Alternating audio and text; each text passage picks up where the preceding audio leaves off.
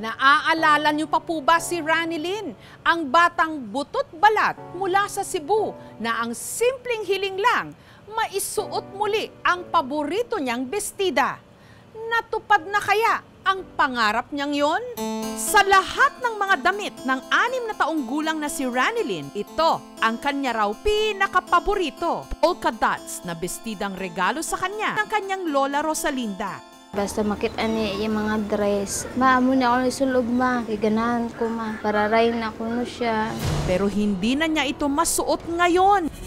Si Ranilyn kasi, bumagsak ang katawan, lumubog ang pisngi, at bumakat na ang ribs o tadyang. Anim na taong gulang na si Ranilyn pero nasa pitong kilo lang siya. Simbigat ng pitong buwang sanggol. Sang tambok pa siya sir. Ganahan siya sa mga dress. Sara din na siya ganahan kay di- daot na ko no siya. Ako lang kay lakat. Say. Dama ko nagsulti ka sa kong nakatambok sila. Wala pinito. Ito ang kwento ng isang bata na ang simpleng hiling muling maisuot ang paborito niyang bestida.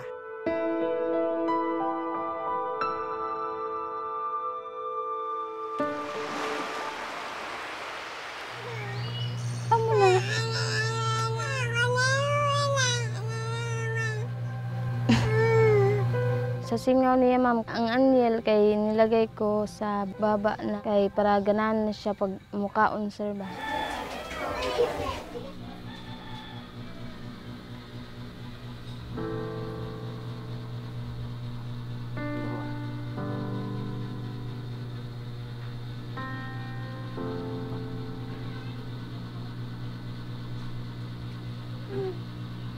Di magod siya mukaon, sir. Ay, tagtulod ang kahungit, ikaw nun. Kay nagkabuntag ako sa naglig ma- magkuan magkaligo.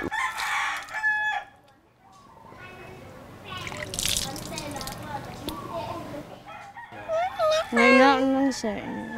Di siya sakitan. Hmm, murag makaingon siya nga napiang siya ba.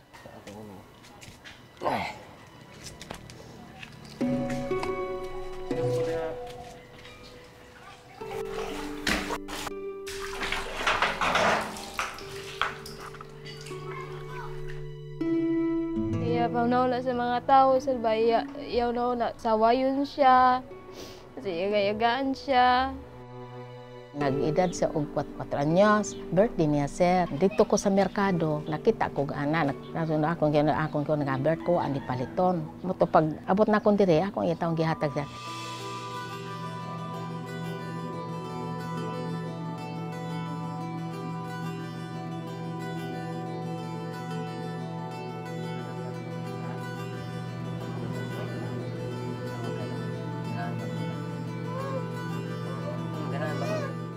Ganan siya sa mga dress, sir.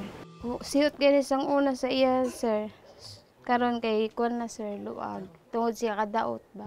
Iya pagkukuhan, pagkanta-kanta, iya pagsasayaw sa akong tatubangan na mga nagalit. Sulti ko sa iya, sarang sayaw lang ka. Dili ko ma, maaw ko ma. Nag-uulgod ko sir. Pag daot niya, anto nagmagtan ko sa niya sinina nga gihay halay. Pahatag ko niya. Yan ako na, ay lang lang ka. Okay, kung matambok ka, masulog mo. Ako inday ano man ni inday. Nagsinina ni mo lang ka ako napalit. Mo to nakatubag sa sir niya. Tira lang na lula, pasi pa ko. Wala may mahimo ato sir ba para pa kuan sa padoktor na ko kanang ranilin ba. Wala may milain makuan lang sir, maduulan gyud kana mahulaman ba. Bye-bye. Kung ako makita na ako mampekto niya ba ba. Kargado ko sa bito. Sa palat ko no, sir, mal malnourished, sir.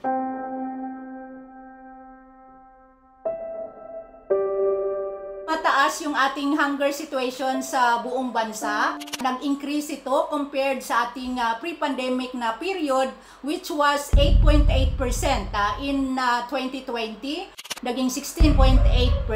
So from 2.1 million, naging 4.2 million. Talagang nakulangan ng pagkain because as we know with the pandemic, saka yung iba mismo nawala ng trabaho. payat na niya. ah. Parang lalabas na yung mata, sir. Parang one week na lang talaga, sir. Eh. Maghihintay na lang ba tayo na yung bata madidball? Pinuntahan ko agad yung DSWD, sir. Parang buto na lang talaga, ma'am.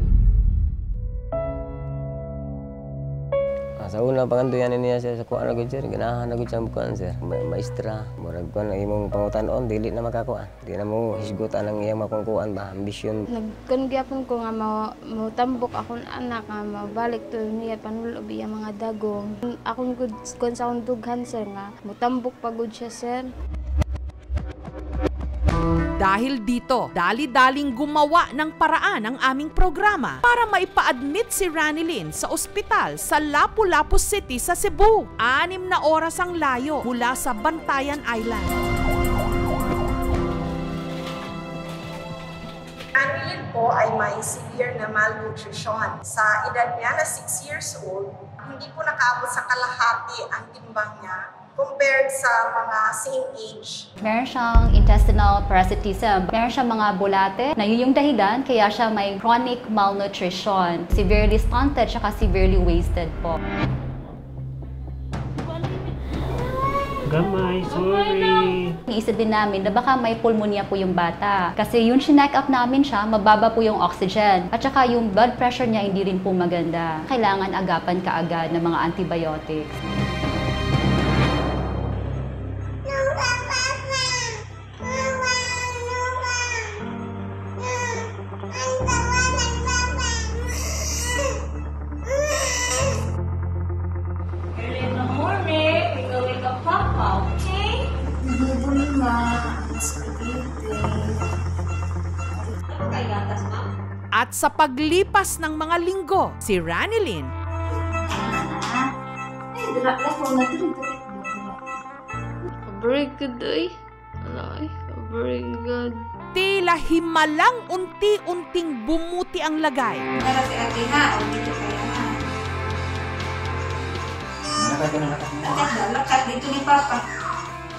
very good. tila himalang unti-unting bumuti ang lagay.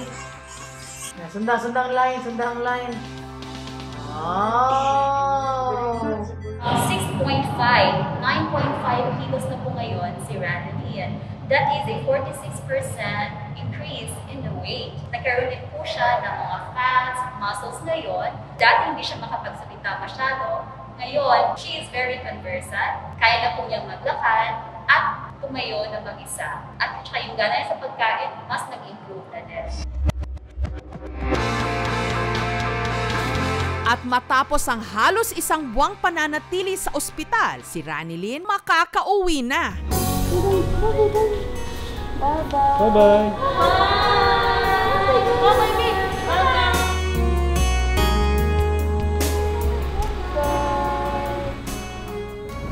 sir, ako dagang gigay sa tanan nga ni tabang sa ako lang dagang gigay salamat ninyo. Wa gid ko ma, buwan ninyo. Dili manginani bata na guro ko dili tungod ninyo. Kung dili tabawli ang bata na ko. Salamat gid kay ninyo sa tanan kay wala gid kay mahimoy.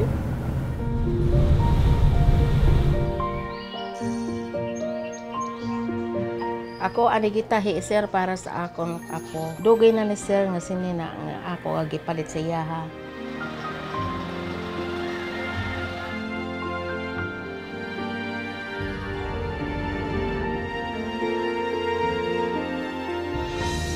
Gusto ka ka. Ha? Ang paborito mo. Eh,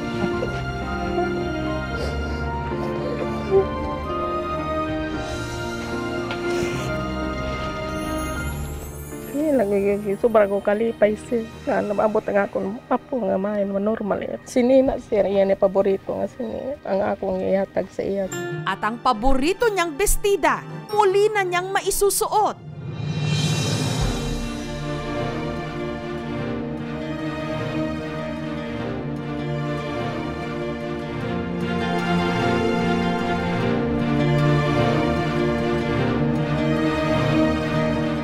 Ko, sir. Magpasalamat yun ko sa inyo, sir. Nagigikon sa ako na po.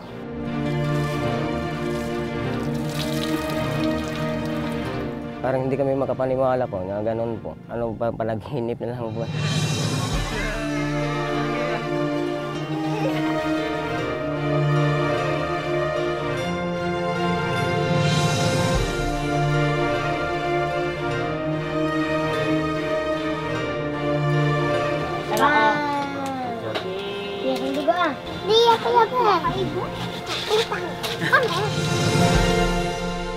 Samantala, dahil sa nangyari kay Ranilyn, ang ospital, katuwang ang Rural Health Unit ng Bantayan Island, nagsagawa ng malawakang deworming sa iba pang mga bata sa isla. When we were taking care of Ranelin, we realized na it's not only one patient that is affected. I think it's a community issue also. And when we found out that some of them are also afflicted with the same condition, we decided that we will do a deworming activity as well as nutritional counseling, education, and hand hygiene education to all the community members. Bilang usa ka mama, mahita ko sa akong anak nga mainat ko ba. Mao nga gidala na kon siya dire. Nalipay ko nga naabot sila dire tungod kay damo sila natabang nga mga kuan nga sa mga puya. And you must have heard of story in Negros. Decades ago, ang bansa natin ay talaga nakakaranas na ng iba't ibang uri ng kagutuman. At ito ay nasasalamin sa iba't ibang forms of malnutrition. Ang goal dito ay yung zero hunger by 2030. Sabalit yung UN report nagsasabi na we are off track in reaching zero hunger by 2030. Bakit? Gawa nga ng pandemya. FNRI is mandated na gumawa ng National Nutrition Survey. So nagko-coordinate sila sa mga LGUs, tinitingnan nila kung yung mga naibigay sa kanilang problema, meron silang kaukulang mga aksyon. Alagaan nilang mabuti yung mga anak nila kasi nakikita natin na dapat i-monitor yung health sa bata. So di ka buwas dahil sina magpailis na siya. Maginaina siya, magsasayo siya. Sa tanan nga kuan ni tabang na mo og nitabang sa sa akong anak si Ranelin daghang gyud salamat ninyo. Salamat ko, tabang sa ako.